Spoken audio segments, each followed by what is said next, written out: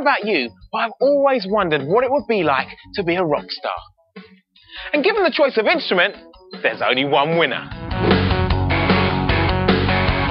That's right, today's Whiz Kids is rocking out on lead guitar.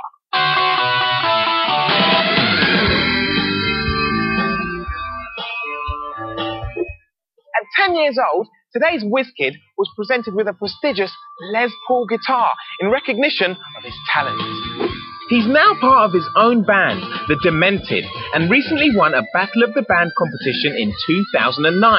His name is Jonny Budd. Jonny recorded a video diary for us on the day of a live performance with his band, and this is how it went. Well, I've just woken up. My guitar teacher's coming around to give me a quick lesson. And after that, the rest of the band are all coming to my house just before our gig at my school. Here we go. Three, four. I can play something to Jonny, and without even explaining what I'm doing, he can play it back to me. Once he's got his guitar on, you know, he's rocking away. Just arrived at school, just been setting up all the kit, just about to do our sound check, and then hopefully all should be good. We're doing about four tracks, all of them originals. Then the guy who's doing the sound is also recording it, so we should add it onto a CD with some other tracks we recorded earlier this year. It's just become a natural thing to get on stage and start playing. It's just the best thing in the world.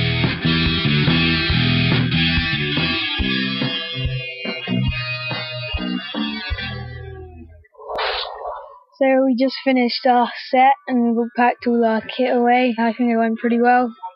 I'd really like to be in a successful band which tour regularly, maybe headline some festivals. If for some reason that didn't work out, quite like to be a session musician playing in the studio with other people's bands. I've only got where I am and be at the standard I am by uh, constantly putting the work in. There are many different types of guitar that come in all different shapes and sizes. Besides a lot of practice, playing the guitar requires a love of music and a lot of commitment. And with hundreds of qualified professionals up and down the country, you're never short of a helping hand. Jonny, some awesome stuff there. So, how often do you practice?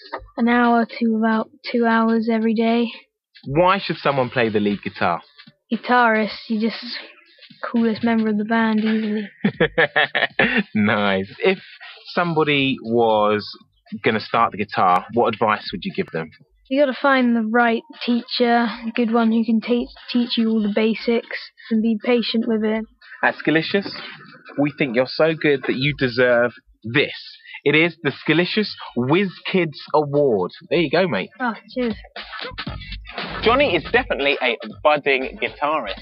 All that's left to do is to convince him to let me join the band.